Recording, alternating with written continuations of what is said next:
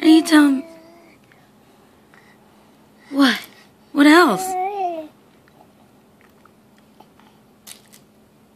Can you explain that some more?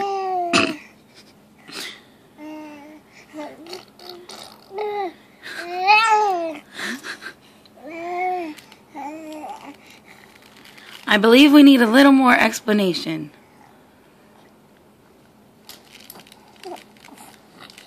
Can you elaborate?